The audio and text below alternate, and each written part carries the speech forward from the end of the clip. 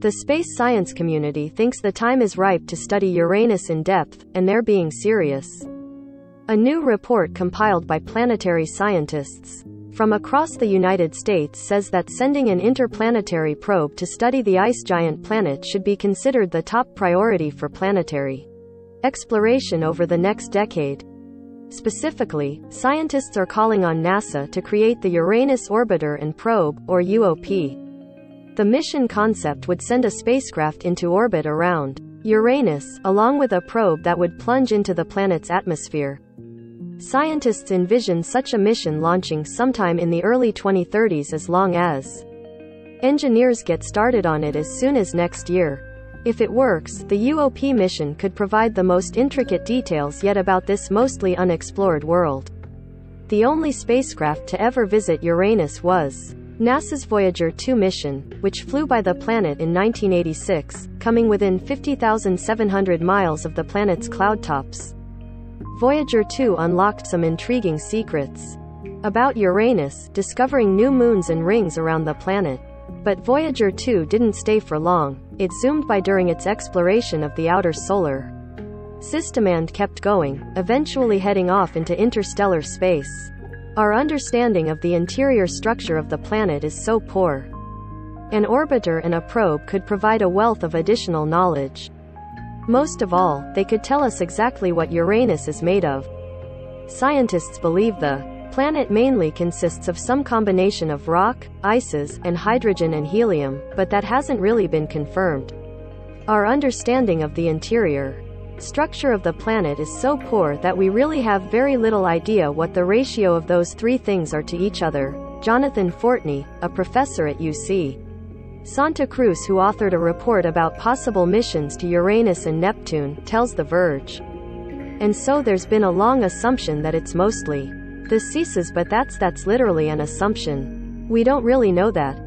Additionally, when scientists look at planets outside our solar system, Ice giants like Uranus and Neptune seem to dominate the universe. And yet, they are the only main planets in our solar system that we've never orbited.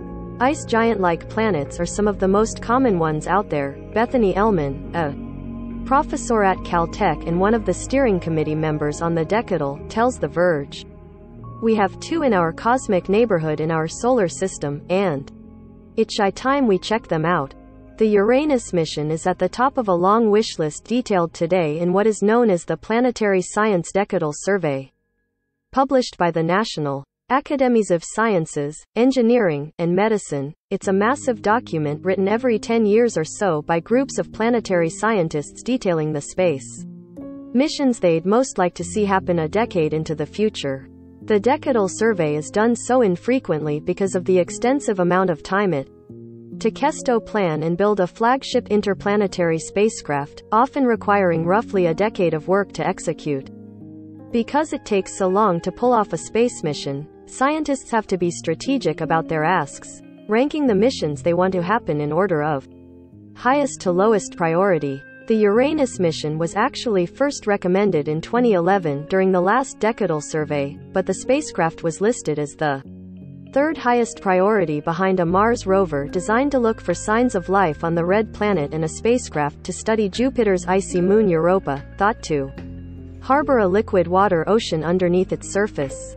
Both of those priorities have manifested into actual missions.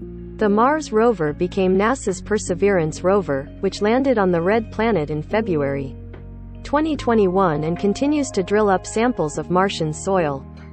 The mission to Europa became NASA's Europa Clipper, a spacecraft designed to periodically zoom by Jupiter's moon to potentially taste its atmosphere and perhaps pass through plumes of water that might erupt from its surface.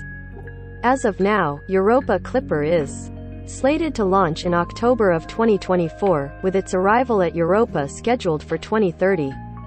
Since those programs have been funded and planned, the lower priority missions from a decade ago have now moved to the top.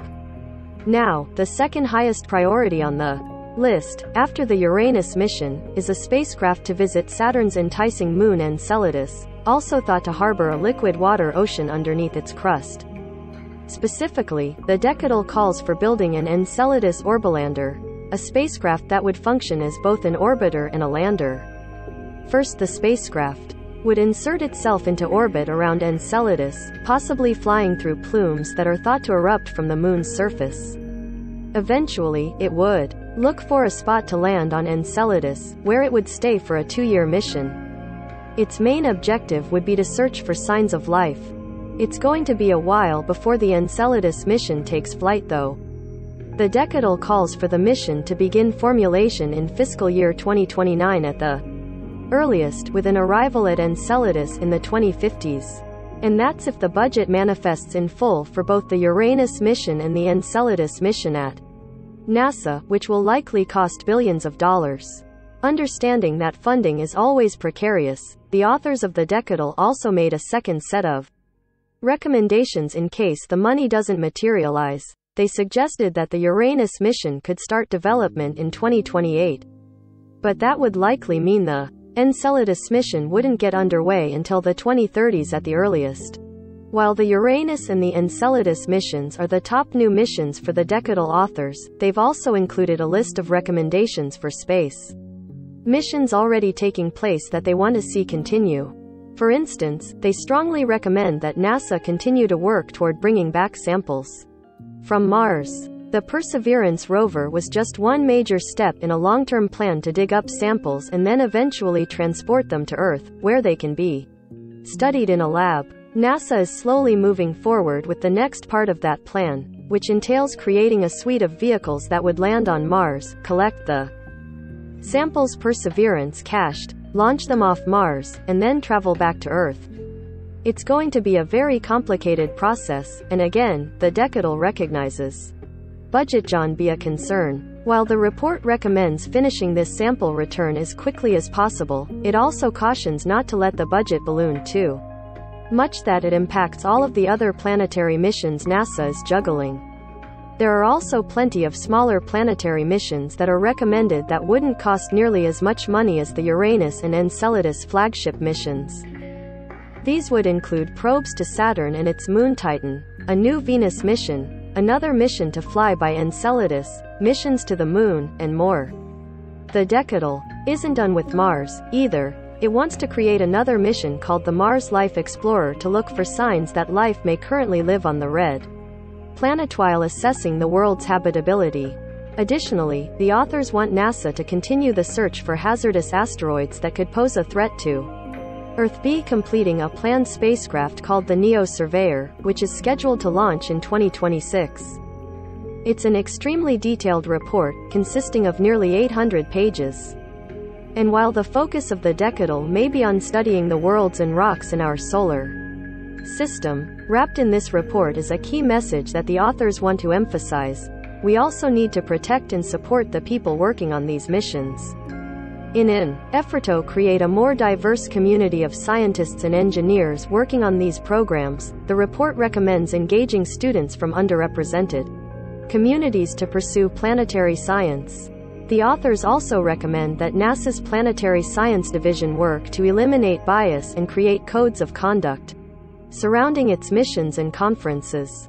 While scientific understanding is the primary motivation for what our community does, we must also work to boldly address issues concerning our communities. Most important resource, the people who propel its planetary science and exploration missions, Philip Christensen, a professor at Arizona State University and co-chair of the Decadal's steering committee, said in a statement,